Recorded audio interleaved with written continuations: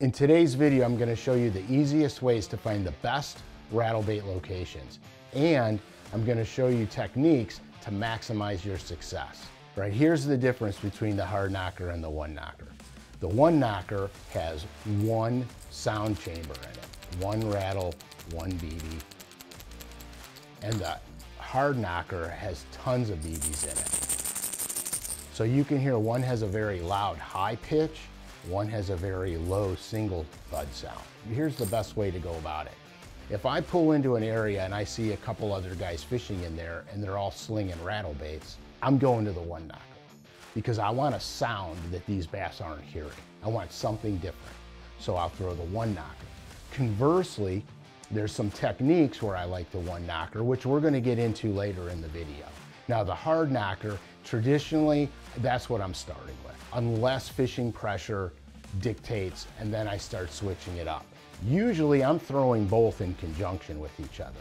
If I'm in a tournament scenario and there's a guy in the back of the boat with me and he's throwing a rattle bait, I'm throwing the hard knocker because I know he's not throwing the same sound I am. It comes in two sizes. There's a half ounce and a quarter ounce. Now here's the cool thing. You should never, ever, ever overlook the quarter ounce. Traditionally, if I'm fishing shallower, I throw the quarter. Or if I have to slow the bait way down, I'll throw the quarter. Or if the bait fish are small, I'll throw the quarter. I have seen time and time again where the bass want the smaller bait and they won't touch anything else. So you have to mix it up because the bass will have a preference and they'll show you that preference. All right, now we're gonna get into locations. I'm gonna show you on the map what to look for. We're gonna start out with grass first because it's a little more complicated than on a structure like even though people think grass is easy, oh, see the grass, throw to the grass. No, we're gonna break it down. Let me get the maps. This is grass. Here's what we're gonna look for. First thing I wanna look for is flats. Nice big flats that come out. I wanna find gradual sloping banks. And then when I look at it, I'm gonna look for broken grass first because the broken grass is gonna give you lanes to throw between, etc. And the other thing we're gonna look at is funnel areas like this right here is a funnel area. We have a funnel area over here. Funnel areas are places where the grass will make a ditch and neck down and it, and it concentrates the bass in a very small area. These are very high percentage spots. The other thing we're gonna look for is hard bottom and shell beds. Now, it's real easy to say, oh, fish the shell beds, but I'm gonna show you a trick right now to make it easier for you to find them because they're not everywhere. So we have current coming in this system. You see the arrow, the current arrows coming in the system. First thing you need to understand, shells are filter feeders. They need current to survive because that's what brings them the food. So on the inside swings, current facing structural elements is usually where your shells are gonna start to pile up because the current will run over these swings like any uh, over here and over here, the current runs over them and they can feed easily. The other place they go is high spots because here's what happens. As the water gets thinner coming over the high spot, the current speeds up over the top of it. It's a great way to bring food for them. So now you know you can look for shells on the high spots as well. And so that's how to tell the difference. Now we're gonna talk about retrieves for a second. Okay, so when I'm coming into like uh, deeper submerged grass, grass that's not to the top, it's, it's deeper grass. I'm gonna burn the bait or I'm gonna tick it off the tops of the deeper grass. So I'm gonna pick my lane between the clumps of grass. I'm gonna pick my lanes, throw it out there and reel it back in. And, and if I bump the grass, I'm gonna tear it through. So the bait goes boom, it busts through that grass clump. That's a good way to trigger strikes. The other thing is hard bottom areas such as rock or shell.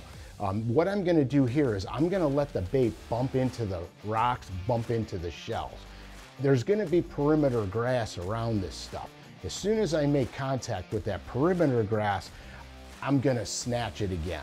Because remember, when I'm dragging it on the bottom, I'm gonna be kicking up a dust cloud. Very not unsimilar to crayfish and, and things like that. This is all how to get strikes with these things. Now, gradual sloping transitions like this okay? What I'm gonna do here is, this is where I use what I call a yo-yo presentation.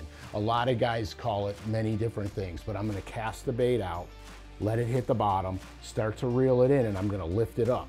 So the bait goes, and then I'm gonna let it fall again. And I'm gonna work it down that transition, or if I've got grass that's stair step down, I'm gonna work it down that stair step grass. Now basically, we got three types of retrieves. We burn it in and tick the tops, we rip and tear through the clumps in the lanes, and we do the yo-yo technique. That's kind of how I'm fishing grass. Now, let's get into some structure lakes, because this is gonna be really fun.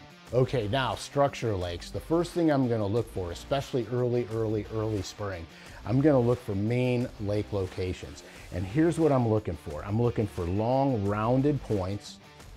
You see them here, long rounded points with deep water access coming in.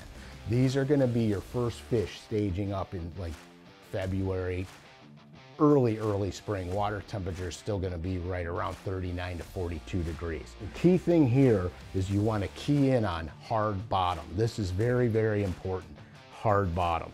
Rock, gravel, shells, etc. Now, this is where I employ a technique called slow roll. So what I'm gonna do is I'm gonna approach these, these flat rounded points.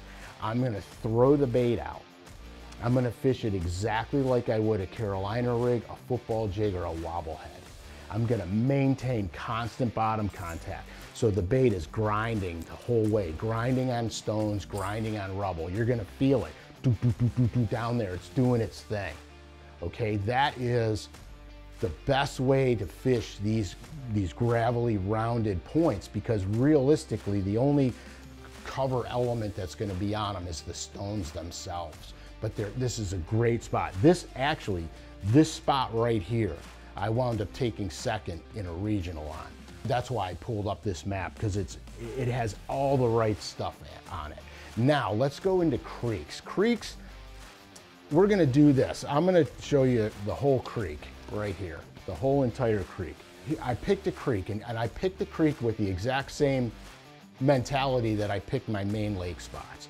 I'm gonna look in this creek and I'm gonna see, does it have a lot of flat gravel rounded points? Does it have anything coming off the bank that's shallow? Like just uh, connected to the main shore, but offshore that's shallow. I can, I can look at this map here and say, this is a good creek to start out at. So I break it up into three sections.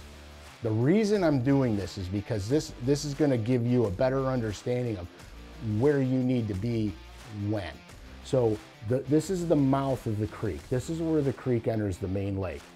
This is the early spring, AKA 39 degree to 42 water temperature. This is the first spot these fish are gonna come in at. And you can see these structural elements here, all these rounded points and stuff here. These are gonna be what I'm looking at, okay? Now, the other thing about section one is this also is a late fall spot late fall, early winter spot. Because as the temperatures cool, the bass will come out from the creek and they'll use this area. As the main lake warms, the fish will come into the creek and use area one. Now, as spring progresses and the water temperatures start to rise, these fish are gonna start to migrate and come into the section two of this creek arm. Again, it's got great structural elements, everything we're looking for, and then you remember in the fall, as the temperature starts to decrease, they're gonna start to move back out. So they're gonna also use this. So you see what I'm doing here. I'm giving you two times a year where this is applicable. And then of course, the third spot, which is late spring and fall, in fall, all the bait fish migrate back here. But in late spring, they're gonna spawn back here. And so you can move into the creeks as the fish move in and you can move out of the creeks as the fish move out. That's pretty simple stuff. Some of the things you might encounter.